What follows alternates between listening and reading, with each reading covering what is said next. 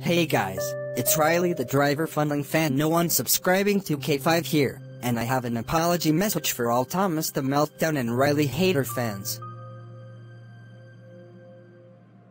I am so sorry that I forced you to hate this user, the reason why I did this is because I was upset about his fan base ever since I hated this user. But to those of you who still like this user, opinions are handled.